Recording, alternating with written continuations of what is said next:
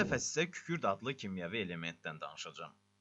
Kükürd kimyəvi elementlərin dövrü sistem cədvəlində 6-cı qrupun əsas yarım qrupunda, oksigenin aşağı hissəsində yerləşir.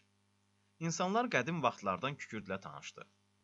Çünki təbiətdə ona təmiz halda rast gəlmək olur. Kükürdü vulkanların və geotermal su mənbələrinin yaxınlığında tapmaq olur. Lakin alimlər kükürdün yerin daxilində necə yarandığını hələ də dəqiq bilmirlər. Bu element gözəl görünüşlü pirit mineralının tərkibində də mövcuddur. Həmçinin dəmir disulfiddə və başqa minerallarda da rast gəlinir. Yəqin ki, kükürdü təmiz halda çoxlarınız görmüsünüz. Bu monoklinik kükürdür.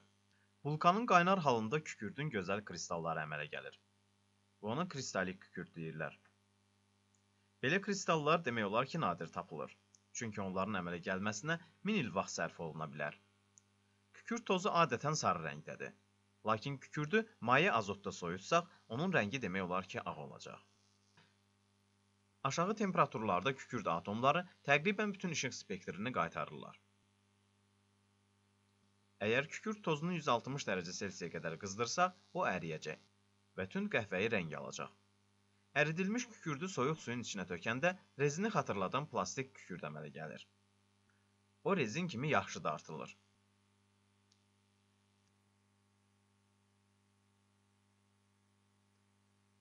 Həmin kükürdə molekulyar səviyyədə baxsaq, o polimer sayıla bilər. Lakin təqribən bir gün vaxt keçdikdən sonra monoklinik formaya keçir və elastikləşir. Bildiyimiz kimi bu hadisə allotropiya adlandırılır. Kükürt tozuna maşın təkərinin hazırlandığı rezinin tərkibində rast gəlmək olur. O rezini bərkidir və tez sıradan çıxmasının qarşısını alır. Kükürd tozu toluol kimi polyar olmayan həlledicilərdə yaxşı həll olur. Kükürdün hamısı həll olsun deyə qarışığı qızdırmaq lazımdır. Vaxt keçdikcə bütün kükürd həll olur və məhlul sarımtıl rəng alır. Məhlul soymağa başlayanda kükürdün həll olması da azalır. Buna görə vaxt keçdikcə məhluldan gözəl, inəyə oxşayan monoklinik kristallar əmələ gəlməyə başlayır. Bu üsuldan kükürdü təmizləmək üçün istifadə edirlər. Havada kükürt kifayət qədər yaxşı, dumanlı göy rənglə yanır və kükürt dioksid əmələ gətirir. Bu qazın iyi xoşa gəlməzdi. Kükürdü həşəratlara qarşı, istixanalarda torpağı və istixananın özünü dezinfeksiya etmək üçün yandırırlar.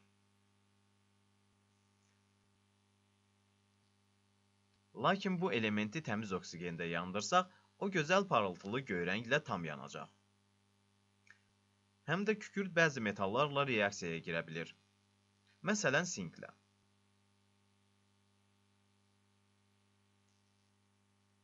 Sinklə kükürd tozunu yandıranda çoxlu enerji əmələ gəlir və bu qarışıq sink ionlarına görə mavi-yaşıl rənglə yanır.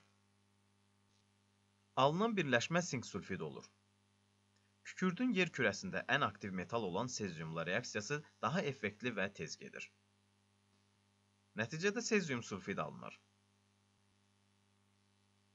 Kükürt almaq üçün effektiv reaksiya var. Deməli, silindrə çox zəhərli maddə olan karbon disulfid əlavə edirik və içini diazot monoksidlə doldururuq.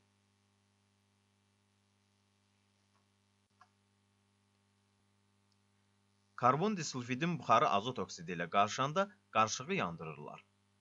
Reaksiya parlaq göy işıq əmələ gətirir. Bu reaksiya yavaşladılmış kadrlarda daha möhtəşəm görünür.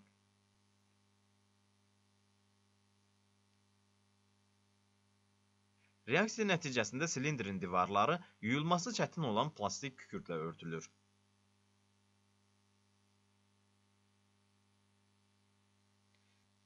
İndi isə daha maraqlı olan bir mövzudan danışaq. Kükürd birləşmələrinin iyindən. Kükürd bəzi amin turşularının tərkibinə daxildir. Onlar isə canlı orqanizmlərdə olan zülalları əmələ gətirirlər. Yəqin ki, çoxunuz çürük yumurtanın iyini hiss etmisiniz. O iyi zülalın dağılması nəticəsində əmələ gələn hidrogen sulfid maddəsinin iyidir.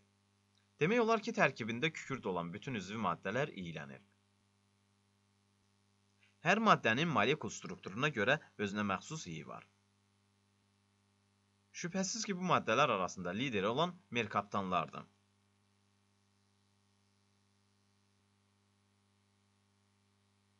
Bu üzvi maddələrin tərkibində tiol qrupu var.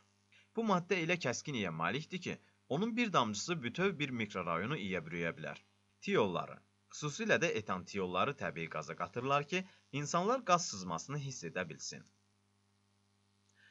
Maraqlıdır ki, insanlar etantiolun iyini havada hissəciklərin say nisbəti 100 milyona 3 olduqda belə hiss edə bilirlər.